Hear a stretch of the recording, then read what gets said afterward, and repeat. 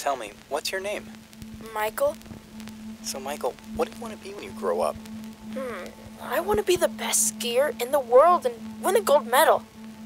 So, Michael, how are we today? You know, Doc, I'm I'm doing pretty good, man. Uh, rehab is going well. Uh, physio's been brilliant. I mean, I really like her. I'm glad we could put you together.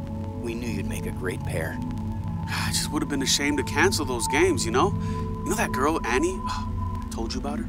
She's competing too. And how's the baby? Oh, she's great.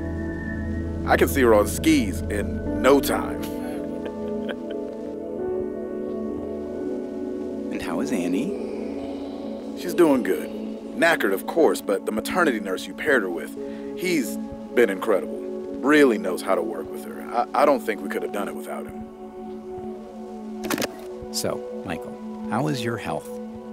I've never felt better. Happy, healthy, feels like the first day we met.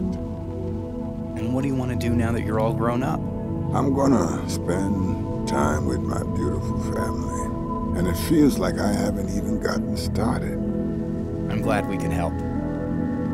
In our little way.